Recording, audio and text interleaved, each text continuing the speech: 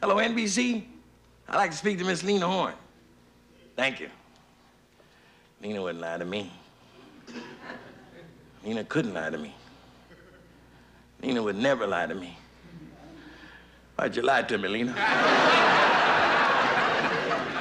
Hello. Uh, what? Yeah, I know she's going to the airport, but did she say she's gonna stop anywhere else on the way? She never said anything at all about stopping anywhere else. Straight to the airport. Uh, oh, yeah. Okay, thank you.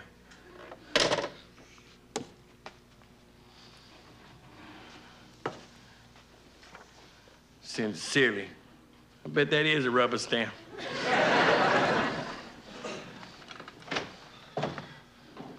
Hello, son. Where you been? What do you think?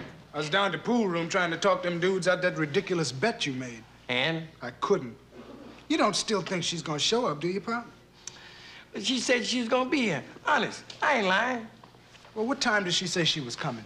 Eight o'clock. Pop, it's 8.15 now. She ain't, she ain't gonna show up, is she? what, what am I gonna do? I should make you stay here and face them guys and pay up. You know I ain't got no 75 bucks.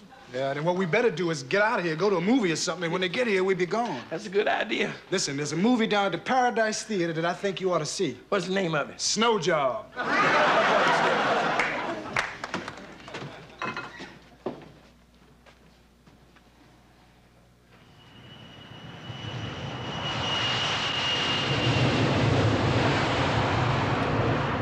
There goes Lena.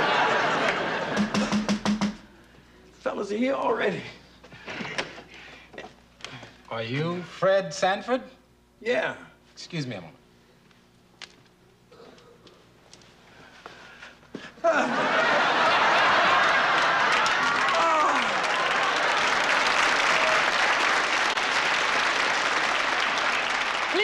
please don't have another heart attack. I didn't expect you. But I told you I'd be here, didn't you? Didn't you believe me?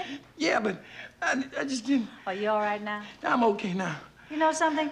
You ought to do something about those heart attacks. I am. I'm saving up for a heart transplant.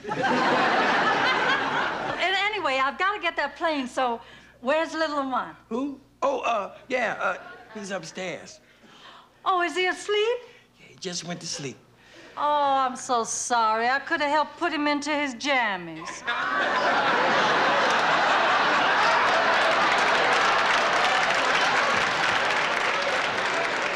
Yeah, he would have liked that.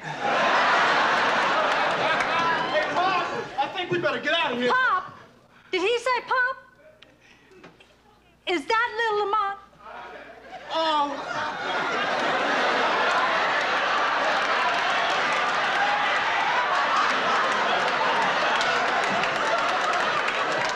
I'm having one, Pop.